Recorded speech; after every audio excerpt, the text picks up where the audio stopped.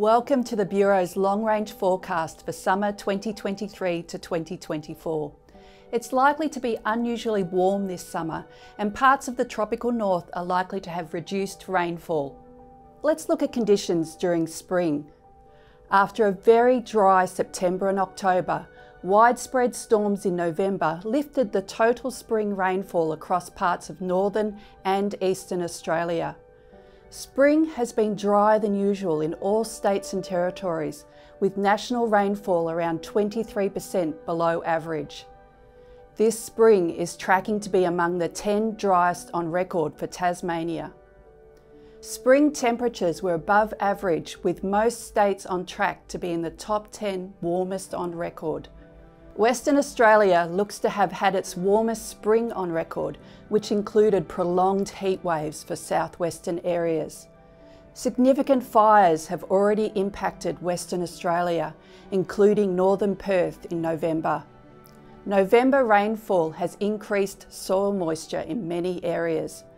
However, soil moisture remains drier than average across many southern and eastern regions.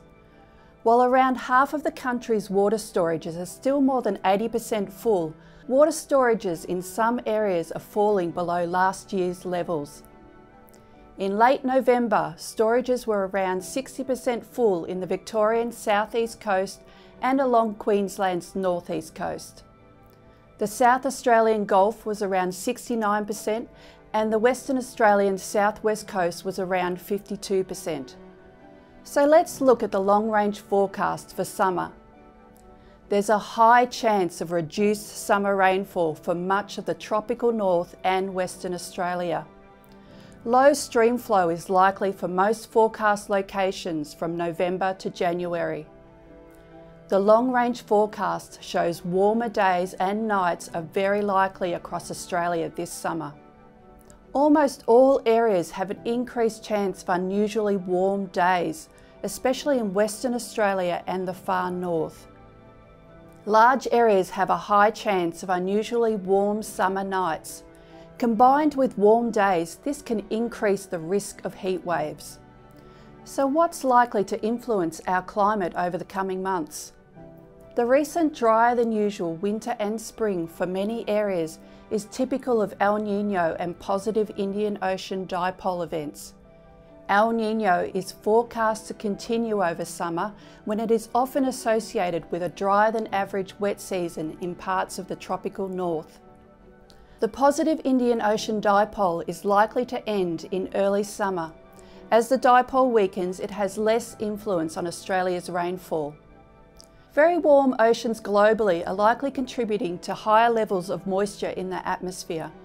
This provides more water for potential rainfall. The summer bushfire outlook from Australian fire agencies shows an increased fire risk for most of Queensland, large areas of New South Wales and the Northern Territory, with pockets in every other state. This summer, all communities across Australia are urged to prepare for bushfire and to monitor local conditions. We're now in the tropical cyclone season. While we have a high chance of fewer tropical cyclones this season, historically at least one tropical cyclone has crossed the Australian coast each season, so northern communities should be prepared. In summary, this summer we're likely to see reduced rainfall in parts of the tropical north and the west, unusually warm days and nights, an increased risk of heat waves, increased bushfire risk in many areas, and the tropical cyclone season is underway. You can find long range forecasts and warnings on the Bureau's website. Bye for now.